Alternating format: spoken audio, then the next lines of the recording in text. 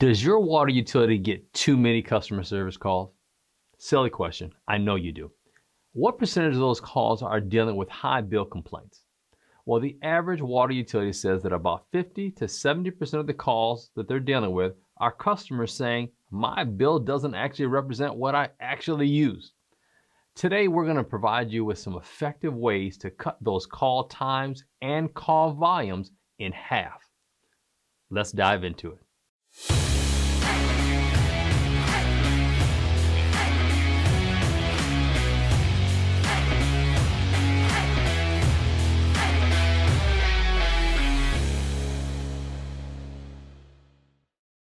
Welcome to the Smart Water Show, brought to you by Badger Meter. I'm your host, Maurice Blackwell, and this is the show where we discuss your day to day water utility problems and find the most effective technology solutions for you.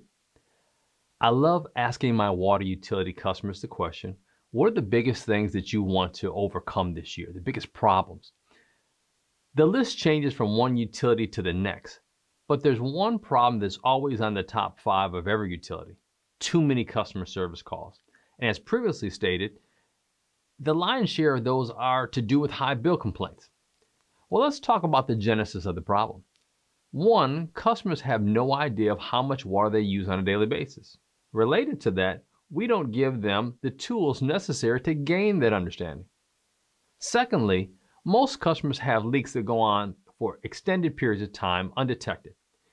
Most of my customers that put in new AMR or AMI systems are always extremely surprised to find out that between 5 and 25% of all of their customers have leaks. Well, today I'm going to share with you three strategies that my customers have put into place that drastically cut down on the number of calls related to high bill complaints. The central theme of all three of these strategies are the power of data. Strategy number one proactive notification notifying your customer prior to them receiving their bill. Now, this can be done if you have an AMR system or an AMI system. They both will alert you of customer leaks. However, the AMI system is a bit more effective because you can notify the customer within 24 hours of them having a continuous usage. I've seen this practice effectively put into action by one of my fixed network customers. They are located in the Southwest and dealing with severe droughts from year to year. They decided to deploy a cellular fixed network in order to get a better handle on the overall water management of the system. The conservation manager was extremely excited about what he can now do with all this additional data at his fingertips.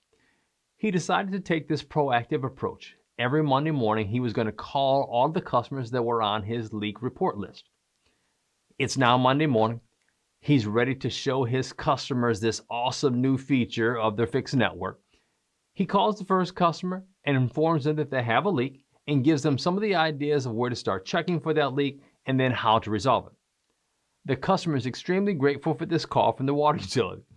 This same scenario goes on for the next few calls until he gets to this one particularly ornery customer.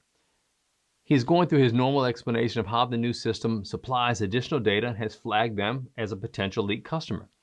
The customer abruptly cuts him off and says, pretty angrily, I do not have a leak.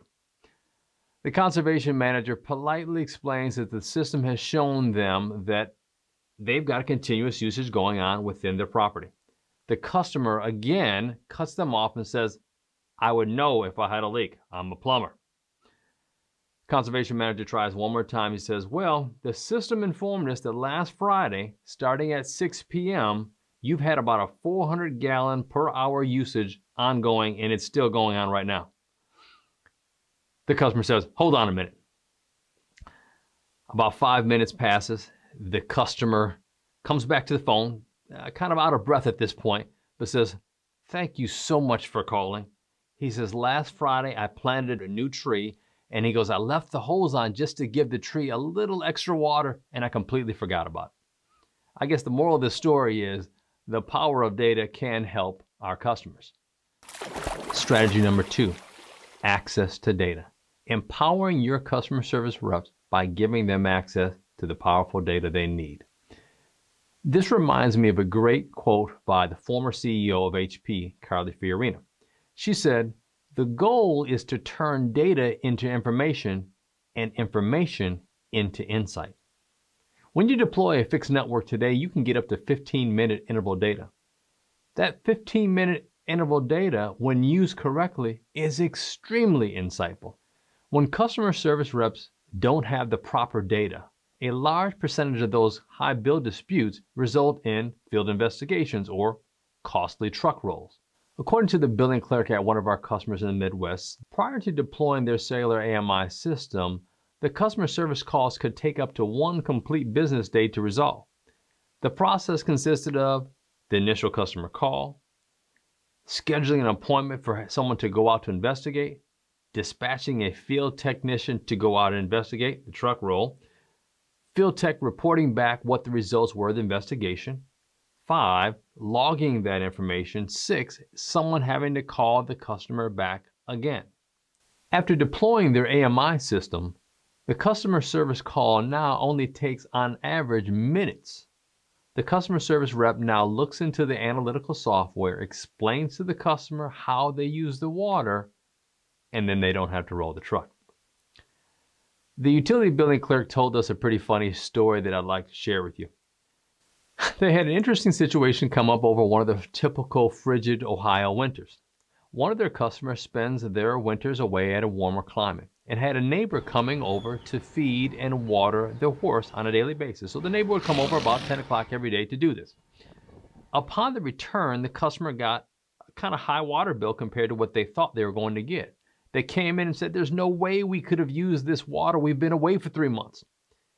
Using the Beacon AMA analytical software, the billing clerk went in, saw what had happened, and printed out a graph for the customer they showed the customer that on one particular day, water started flowing at 10 a.m. and that water didn't stop flowing until 11 a.m. the next day. Well, looking at that, that graph, the customer understood what had probably happened, promptly paid their bill, and went on about their way. This is just another example of the power of data. Strategy number three self service tools, providing your customers with the data they need. In a world where technology is all around us, our customers' expectations are that they can have access to their usage. They take it for granted that this information is somehow available to them. These self service tools come in two flavors one, a web portal, which could be accessed through any standard internet browser, and then number two would be a native iOS or Android smartphone app.